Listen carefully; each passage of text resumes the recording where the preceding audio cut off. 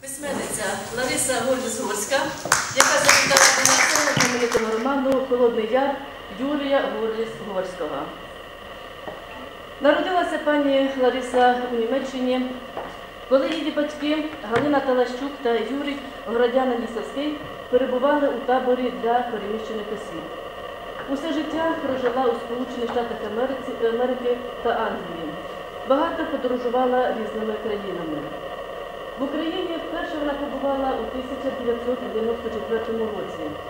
І так вона полюбила свою батьківщину, що через деякий час повернулася сюди і залишилася мешкати назавжди. Як я сказала, вона до нас вітала із міста Львова. Вона хоче повернути пам'ять про батька у місті, в якому він жив від 1932 до 1944 року. Зауважити, що Юрія Гордіс-Горського у нас на Полтавщині поважають і пам'ятають. На жаль, у нас в бібліотеці всього один примірник його твору Холодний Яр, але його дійсно читають. У 2012 році пані Лариса завітала до Полтави. Спогадами про ту зустріч у нашому місті я запрошую поділитися члена координаційної ради громадської організації Громада Полтавщини Кирпотіну Ніну Миколаївну. спогадами про ту зустріч, пам'ятну мені дуже з пані Ларисою у 2012 році, коли я ну, за дорученням нашої організації проводила екскурсію Полтавою для нашої дорогої гості, а взагалі від імені нашої полтавської громадськості, від Ліги громадських організацій громади Полтавщини, сказати пані Ларисі, що його, її славного батька і пані Лялі, вашого славного діда в Полтаві дуже добре знають, люблять і поважають. Ми, Е, ми відкрили для себе це ім'я зовсім несподівано і були раді, коли узнали, що в історії нашої країни, в історії нашого народу, нашої української літератури е, був і залишився назавжди така талановита людина. Це надзвичайна особистість.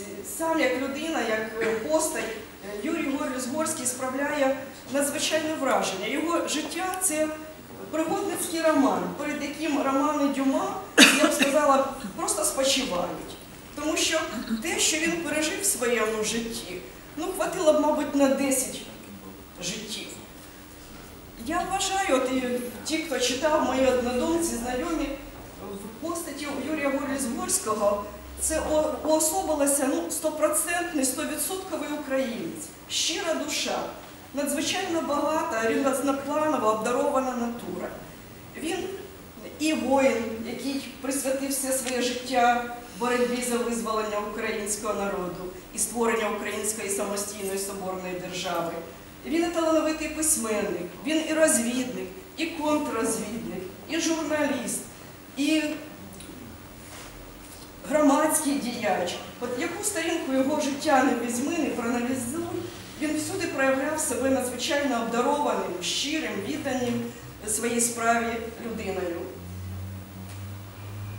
Крім того, надзвичайно приваблива особистість, як чоловік, е, привабливий, красивий і зовнішньо, і внутрішньо. Це поєднання гармонійне таких обдарувань зробило його постать справді унікальною і гідною того, щоб ми вивчали його життя, його твори, щоб ми шанували його, щоб ми гордилися, що наша полтавська земля дала світу і Україні таку особистість.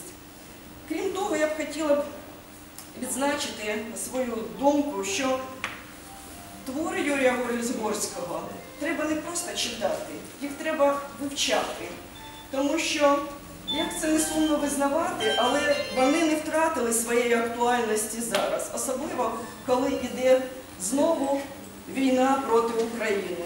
І я актуальність його творів хотіла б підкреслити такою невеличкою цитатою. Він писав свій час майже 100 років тому. Коли дві нації борються, білі рукавички треба скинути. До такого висновку прийшов. він. За п'ять років на фронтах довелося розрубати в бою череп не одному німцеві, мадярові, москалеві. Але що можна піднести шаблю на ворога, який вже кинув зброю, що ворог лише мертвий перестає бути ворогом, з цим я погодився лише тепер, на цьому клаптері української землі Холодному Яру, який треба було відстояти або загинути. У Холодному Яру Юрій переконався, що гуманізм до ворога обертається новими українськими жертвами. Він подарував життя полоненому начальнику міліції, той віддячив, викликавши телеграфом зі Солов'ятграда полк Червоної кінноти. Бій завершився поразкою холодноярців, а сам Залізняк потрапив у полон. У ляках Єлисаветградської ЧК він відчув гуманізм совєтської влади. Під час розстрілу йому вдалося врятуватися, вдалося, бо він страшенно хотів жити і не тратив духу в безнадійних, здавалося б, ситуаціях. Ось так писав і говорив наш славетний земляк, письменник, боєць за волю України, талановита особистість Юрій Ворліс Горський.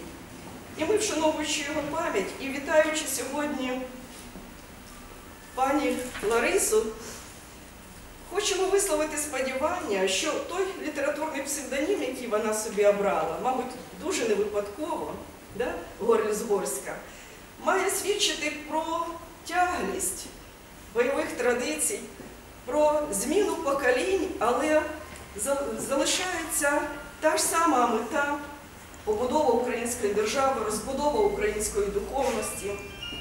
І цей псевдонім дуже зобов'язує, звичайно. Ми підтримуємо вас в ваших прагненнях і популяризації імені славетного батька, і в розбудові тієї справи, в розвитку української літератури. І ми бажаємо вам щиро на вашому літературному шляху великих успіхів, щоб ваші твори стали бестселерами, щоб вони за таку теплу, як кажеться, welcome. Атмосфера. зустріч Це при прийом. стані. А Щойно навчилась ще щось, бо я цілий час вчуся про, про мого батька. Я ходжу по Україні і вчуся книжка. І то я, я вважаю, що це є велика образа моєго батька. Але люди, різні люди думають інше, бо є ті, що думають, що, мо- що зміни роблять книжку ліпшу. А я вважаю, що вона втрачає дух. Ну то тому я покажу вам книжку, можете подивитись, і чи, чи ви, а, якби ви були письменник, чи ви хотіли б, щоб хтось а, такі зміни? Бо суду я не хотіла і не, не є, нема причини це робити. І мені не подобається суд. А просити то, то, того твердія. Це два тижні тому вийшла оця. А, а та це, це в Донецьк видали. Це, це беззаконно, але без змін. От мені не, це, це для мене це є окей. А, і ще одна версія також автентична. Це також автентична, це в Києві видали. І я зробила. Вона була сильна патріота. І, і тому я так, ну, я навчилась українську мову. Але після того, як я пішла з дому, то я говорила тільки по-англійськи, бо спілкувалась із англомовними лю- людей.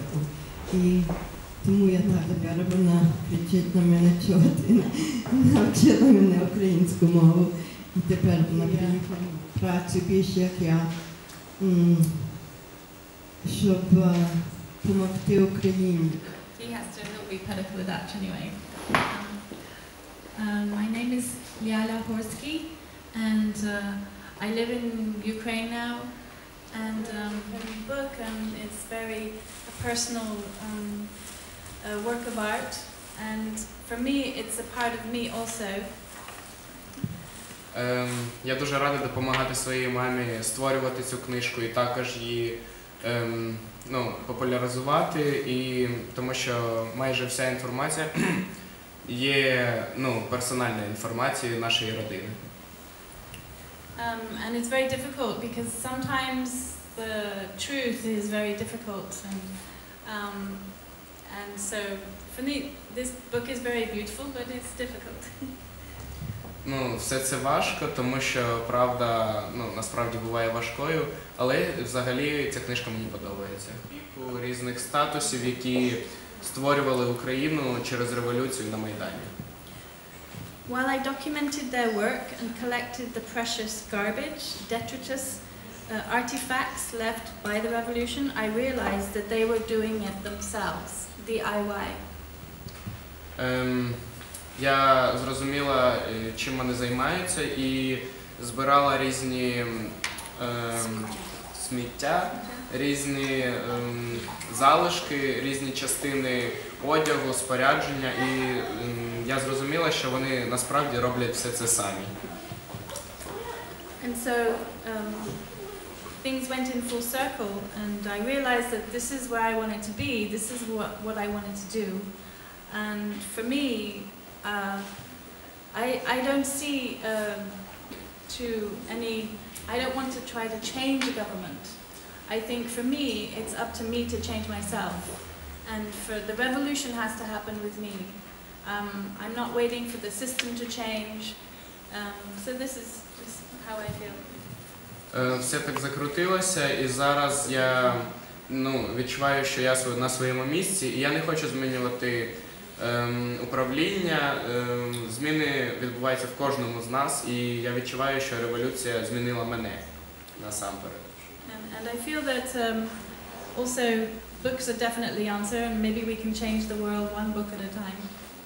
І е, я вважаю, що книжкою насправді можливо змінити світ. Thank you. Дякую. I'm doing that now. So- Так, ну вона зараз вчить українську мову, і вона б хотіла так залишитися. Дуже, дуже приємно. У кого ще запитання будуть, будь ласка? Подобаються деякі туалети. some toilets. I love, I love the people. Але подобається, дуже сильно подобаються люди. I like how when you walk down the street, people look at you in the eyes. Е, Коли ти прогулюєшся по вулиці, то люди дивляться тобі в очі. It makes me feel like a connection to people. І я відчуваю зв'язок з людьми. Uh, the land is the most beautiful land. I've, I've traveled, my mother, we, we traveled around the world. Ukraine is the most beautiful country I've seen. Е, Я подорожувала зі своєю мамою, і Україна є насправді ну, найгарнішою землею на в світі. Um, I love how everything revolves around food. I love that. Е, Мені подобається, як все зв'язано з їжею в Україні. And how everybody is an artist, everybody is a writer, everybody sings, everybody has this amazing creative talent. І всі мають ем, свої власні таланти. Тобто хтось співає, хтось пише новели, хтось пише романи, хтось займається якоюсь іншою дією. Um, I don't like how people sell their votes. Мені не подобається, як люди продають голоси на виборах. I, I worked as elections observer for about five years now. Volunteer in Ukraine, yes. Ем, Я працювала ем, наглядачем на виборах, Спостерігач. спостерігачем я, Uh, ем, only during the elections. да, в Україні. During the elections. Um,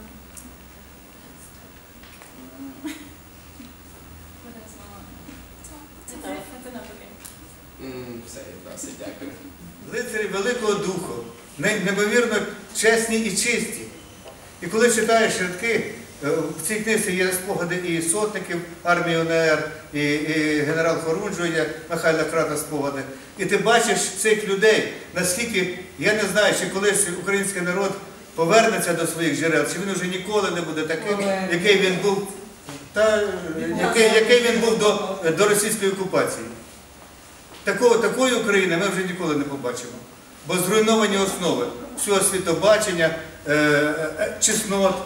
Ми були селянська нація, яка завжди знала, що своєю працею на землі земля була святе, що Бог дасть, те ми й заробимо своєю працею.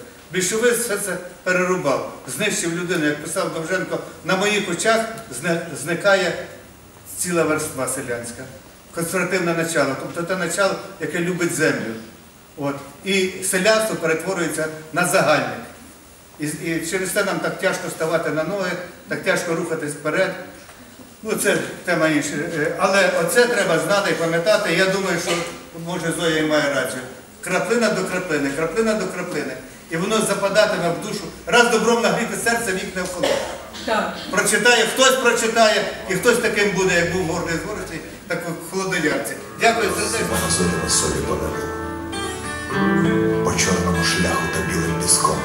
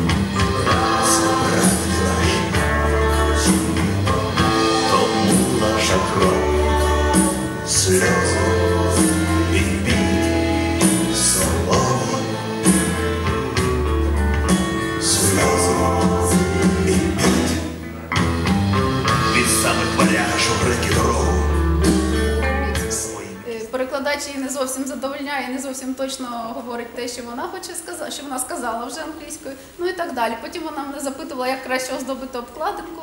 Ну це ви щоб розуміли. А тепер пані Леся просить, щоб я прочитала е, вам ну, півтори сторінки, дуже кор, дуже маленький уривочок, але це самий початок. На прохання пані Лесі читаю. Е, Було колись в Україні, ревіли гармати. Було колись. Запорожці вміли панувати. Панували, добували і славу, і волю. Минулося, осталися могили на полі. Це Шевченко. А далі пані Леся. На міжзоряній материнській станції, яка розташувалася високо на орбіті блакитної планети Земля, відчувалося якесь незвичне піднесення. Її екіпаж, багато хто з його членів прибув сюди з далекої галактики Ксилон, готувався до візиту членів Вищої ради. Старішини пробули до- прибули до місця проведення конференції, сповнені спокою, покивуючи головами на знак задоволення від дивовижної краси пишної і барвистої рослинності, яка їх оточувала.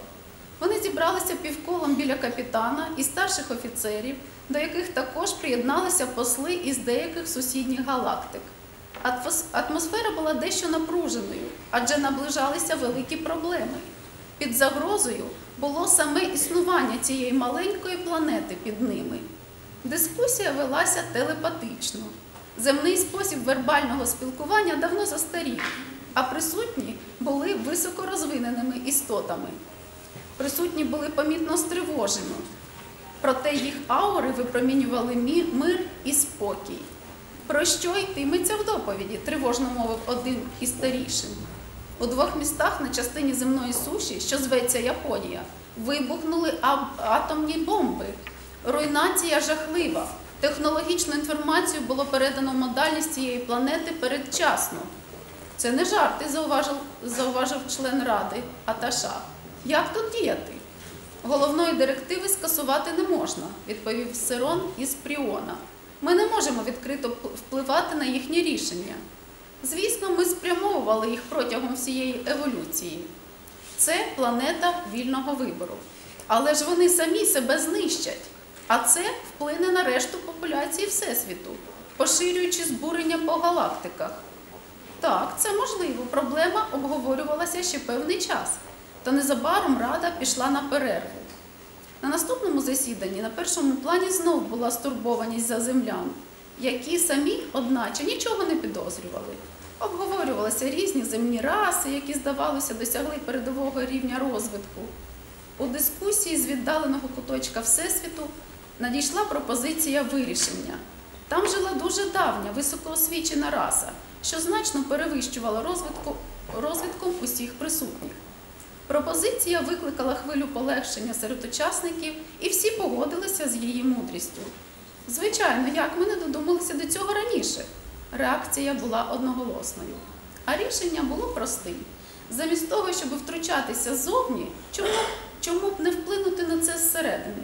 Таким чином не порушувалася б головна директива, а можливість успіху майже гарантована. Заклик був поширений серед добровольців. Незліченні мільйони відгукнулися на заклик. Вони прибули з найвіддаленіших галактик, навіть з-поза їхніх меж. Такої пригоди не можна було пропустити.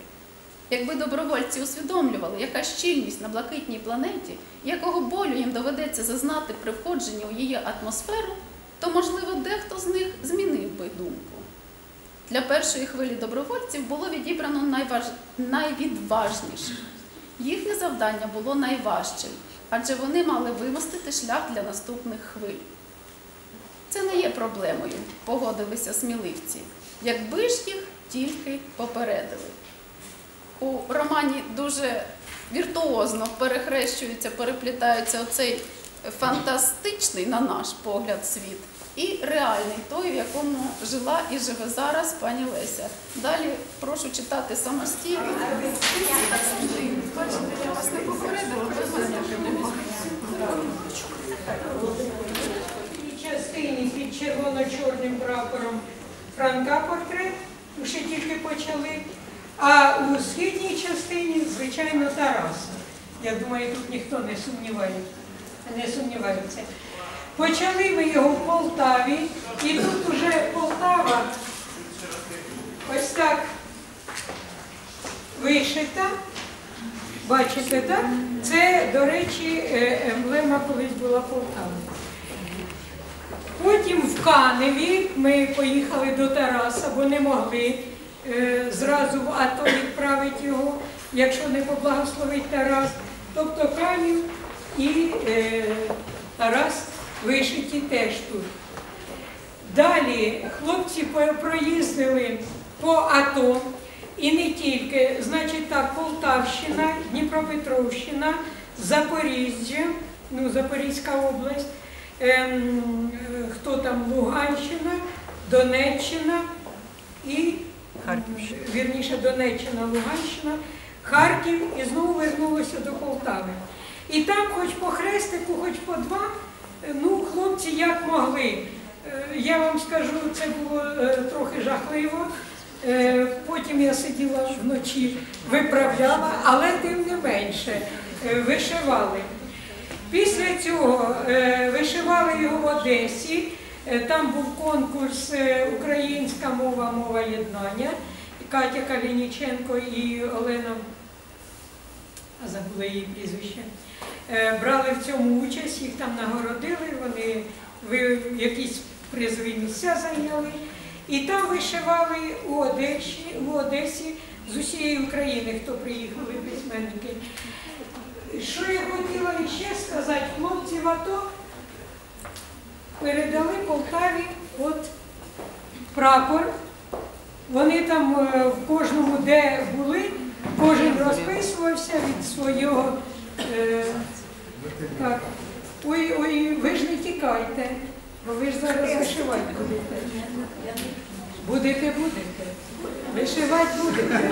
Ще, ще не знайшовся той, хто не вишив хоч одного хрестика під моїм е, керівництвом. Е, так що це в Полтавщину вони передали цього прапора. І зараз я дуже прошу, е, я не знаю, ми потім зможемо книги придбати, да? а зараз я дуже прошу пані Леся і пані Лялю. Ви, Ну, дивіться на цей. От, от де, де він є, да. Справа вліво. Спра- Справа вліво.